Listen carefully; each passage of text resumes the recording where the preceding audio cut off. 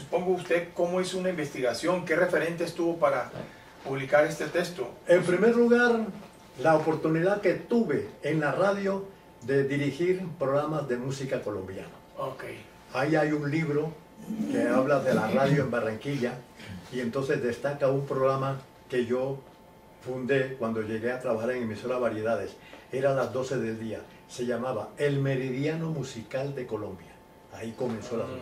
En la noche, allá en La Voz de la Patria tenía también otro programa a las 10 de la noche, sí, a las 10 de la noche, un programa de música colombiana, se llamaba Noches de Colombia. Ahí presentaba, por ejemplo, a Pacho Benavides, presentaba a Garzón y Collazos, bueno, todo eso. Sí. Entonces, Eh, este volumen 2 dos. está dedicado más a la música de la región andina nada colombiana. más, nada más. Ok, entonces aquí salen Y- los grandes eh, Garzón y Collazo, Claro, todos los duetos, todos. tríos. Y eh, el prólogo lo escribe eh, David Sánchez Julián. Oh, el de flecha, ¿no? Bueno, muy bien, como estamos resumiendo, entonces aquí este es el volumen 1 o una edición. La segunda edición. Bueno, muy bien, segunda edición. Canciones, fiestas de las llanuras, Caribe y Pacífica y de las islas de San Andrés y Providencia. Claro. Entonces, esto es más del Caribe. Caribe. Bueno, cuéntenos. Caribe y Pacífico. Ok, ok, afro, bueno, casi. Cuéntenos, en resumen, ¿de qué trata el libro, el texto? Este texto está hecho con base en el- la primera edición, en donde eh, eh, eh, traté algunos temas en una forma, digamos, vaga, ahora la amplío. Hice, corregí algunos errores, ¿no? Y eh, de tal forma, pues, que al final esto llegó a convertirse prácticamente, pues, en un segundo libro. No era prácticamente, no era continuación, sino que era un libro completamente amplio eh, eh, con respecto a lo que se había dicho, pues, en principio. Y aquí lo mismo, el ambiente, la gente como es, el- eh, eh, eh, las fiestas que se celebran allá, el carnaval de Barranquilla, las fiestas de Cartagena, el San Andrés, el Calipso, es decir, todo, todo lo que tiene que ver pues con la parte musical de esa, de esa, de esa región, con ejemplos, ejemplos Ok, comprobables. sí, entrevistas. Exactamente, con ejemplos. fotos, Yo le, le hablo de una, de una capturas. canción y la canción está aquí. Ahí, por ejemplo, bueno, ya esto, esto fue en el, en el libro segundo, es el libro de música andina. Sí. De- de- eh, olvidaba destacar algo importante. Sí. Resulta que hay el tema ese campesina santanderiana, ¿no? O sea, Morales. Sí, eh, resulta que en, allá en, en República Dominicana que dicen pues, Ah, sí. que copian mucho y no pagan, ¿no? Este se llamaba Fernandino, Fernandito eh, Villalona. ¿Cómo? Villalona. Villalón, Fernandito Villalón. Villalón. Llegó, hizo campesina dominicana. Sí, sí. La sí, misma música, la misma letra, en vez de colombiana, en vez de santanderiana, colombiana. Y después Bolivia, campesina boliviana. Ah, bueno. Eso lo destaco yo ahí. Sí, sí, muy bien, muy buen aporte. Oiga, a propósito, ¿usted cómo hace para publicar esto? ¿Esto es por su cuenta? ¿Usted asume Bueno, esto y...? Sí. Lo que fue, por ejemplo, el libro, el libro primero, que fue el de la Escuela Nacional de Comercio, eso me lo patrocinó los estudiantes, los egresados, los que ya eran profesionales. Sí. Yo acudí, cada uno de ellos pues me... ¿Y los de música? Y lo de música también en principio comencé así. Pero resulta que tuve, Miriam siempre, mi esposa me criticaba, no, que tú te presentas ahí es como si fueras un limosnero. ¿no? Entonces logré, eh, solamente un, uno que un egresado que me había atendido muy bien, pero que al final pues salió portándose pues prácticamente mal porque se negaba, eh, me había citado y yo no lo veía, ¿no? Una, una forma, por ejemplo, digamos, muy grosera, muy bochornosa, que me impidió, eh, que definitivamente decidí pues no seguir eh, pidiendo más plata, ¿no? Afortunadamente la Universidad Católica donde trabajaba Ah, me auxilió con 600 mil pesos. Ah, bueno. Y para ese momento ya yo había, con los muchachos, había recolectado como, como unos 400 mil pesos. Total, pues que ese libro se, se pudo sacar. Y con el, lo- el producto de la venta se hace este segundo. Ah, ok. Con el producto de este segundo Ah. se hace el tercero. Qué bueno, qué bueno. Oiga, entonces, estos textos, si alguien quiere adquirirlos, usted Bueno, directamente... Sí, cómo no. Sí, porque esos se vendieron en las librerías. Librería, la librería, librería Nacional, Librería Lerner, eh, li- eh, Librería República China, Sí. eh, la- es decir, muchas, muchas, muchas librerías de Bogotá, Barranquilla, Cartagena, Santa Marta. ¿no? Hasta allá llegó todo- todos esos libros, ¿no? Eh, lo- a- para que se le facilitara pues a la gente la adquisición. Ya después entonces ya pasaron tanto tiempo, con la Lerner estuve 20 años, ya ellos van retirando pues esos Sí, sí. libros.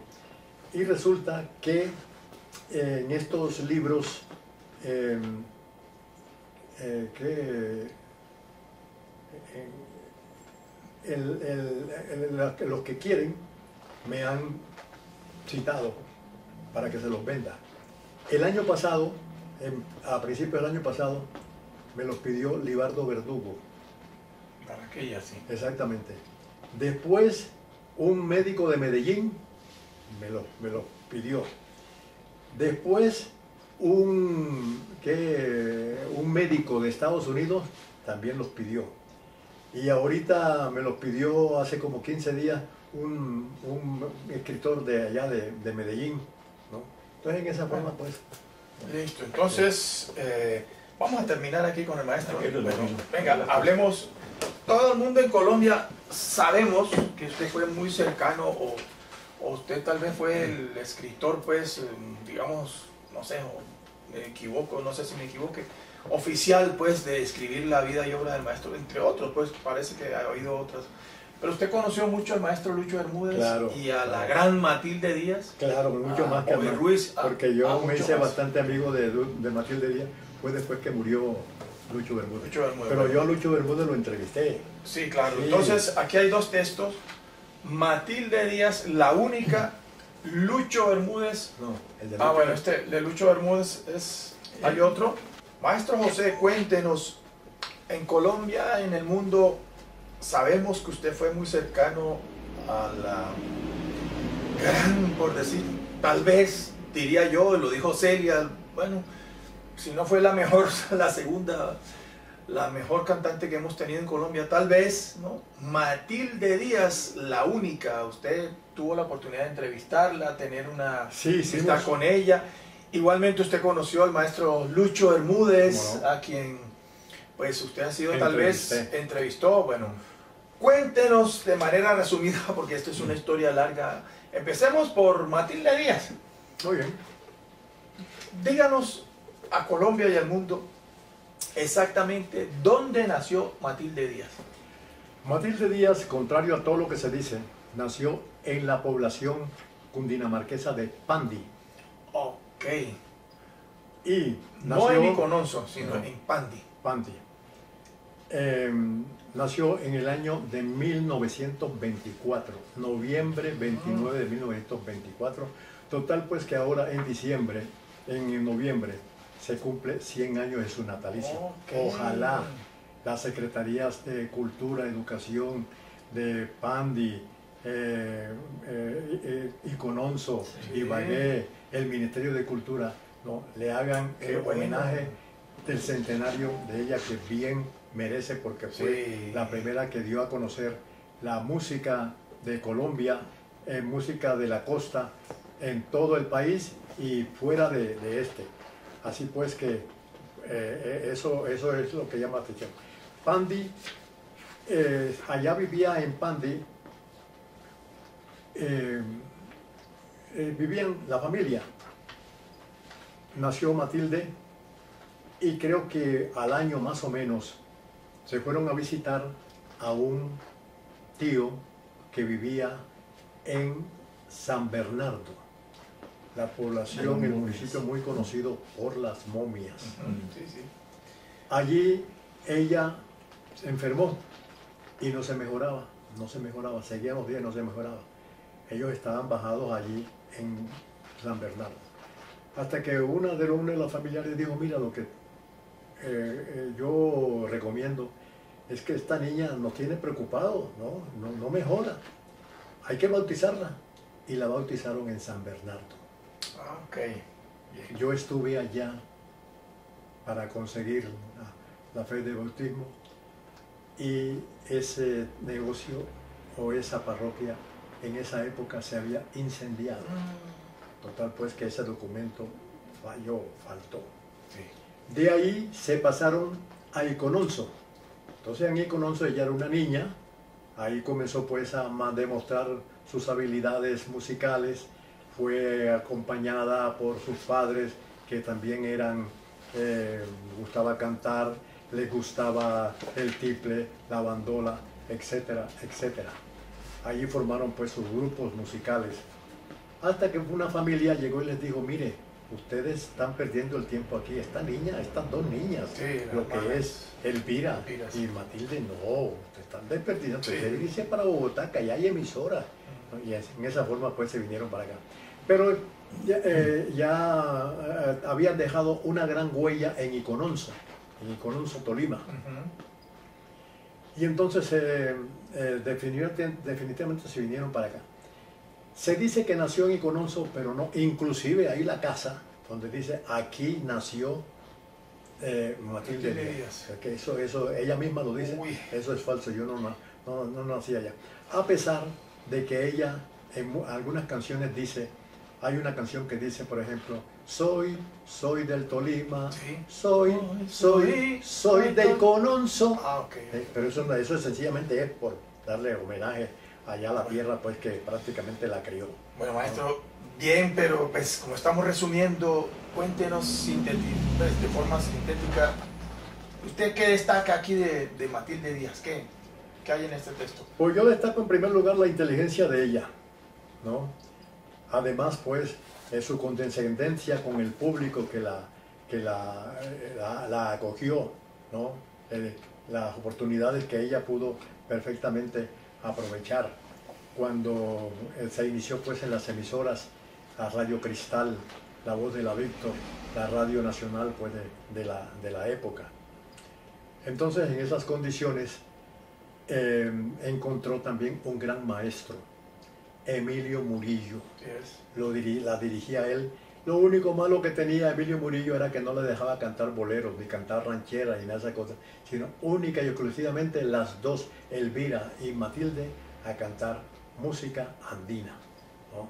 Pero el maestro Emilio Murillo murió en el año 40 y, ¿qué? En el año 42, ¿sí?